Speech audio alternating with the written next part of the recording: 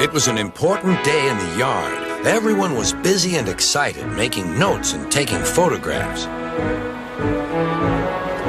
A special visitor had arrived and was now the center of attention. Who is that? whispered Thomas to Duck. That, said Duck proudly, is a celebrity. A what? asked Percy. A celebrity is a very famous engine, replied Duck. Driver says we can talk to him soon. Oh, said Thomas, he's probably too famous to even notice us. Just then, Gordon arrived. Puh, said Gordon. Who cares? A lot of fuss about nothing, if you ask me. And he steamed away. Later that night, the engines found that the visitor wasn't conceited at all. He enjoyed talking to the other engines till long after the stars came out. He left early next morning. Gordon was still complaining. Good riddance, he grumbled, chattering all night. Who is he anyway? Duck told you, replied Thomas. He's famous. As famous as me? Nonsense. He's famouser than you. He went a hundred miles an hour before you were even thought of. Huh, so he says, huffed Gordon. But I didn't like his looks. He's got no dome. Never trust domeless engines. They're not respectable.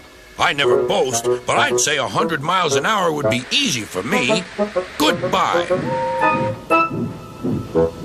Duck took some freight cars to Edward's station. Hello, called Edward. That famous engine came through this morning. He whistled to me. Wasn't he kind? He's the finest engine in the world, replied Duck. Then he told Edward what Gordon had said. Take no notice, soothed Edward. He's just jealous. He thinks no engine should be famous but him. Look, he's coming now. Gordon was running very fast. His wheels pounded the rails. He did it, I'll do it. He did it, I'll do it. Gordon's train rocketed past and was gone. He'll knock himself to bits, chuckled Duck.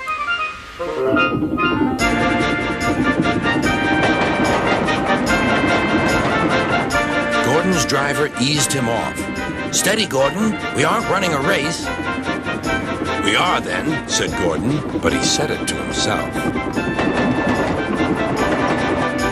Suddenly, Gordon began to feel a little strange. The top of my boiler seems funny, he thought. It feels as if something is loose. I'd better go slower. But it was too late. On the viaduct, they met the wind.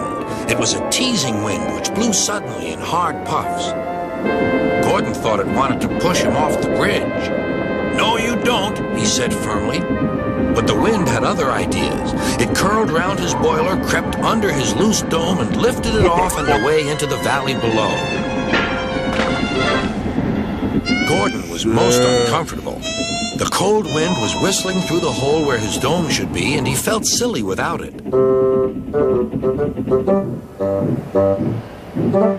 At the big station, the freight cars laughed at him. Oh, fuck off. Gordon tried to wish them away, Your dome was fucking but they crowded round no matter what he did. On the way back to the shed, he wanted his driver to stop and fetch his dome. We'll never find it now, said the driver. You'll have to go to the works for a new one. Gordon was very cross. I hope the shed is empty tonight, he huffed to himself. But all the engines were there waiting. Never trust domeless engines, said a voice from somewhere behind him. They aren't respectable.